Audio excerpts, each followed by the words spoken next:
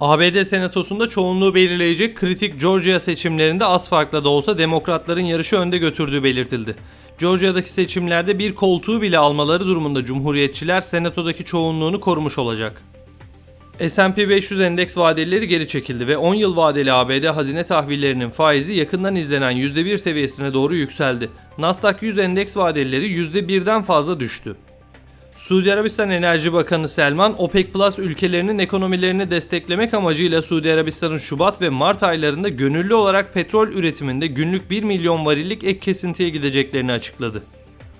Cumartesi 34 bin doların üzerini gören ve 34.792 dolar seviyesiyle rekor kıran Bitcoin çarşamba günü 35.842 dolar seviyesine ulaşarak rekor tazelemiş oldu. Gündemdeki gelişmeleri tartışabileceğimiz ve sorularınızı yanıtlayabileceğimiz 10.30'daki YouTube yayınımıza katılabilirsiniz. Class FX ailesi olarak iyi günler dileriz.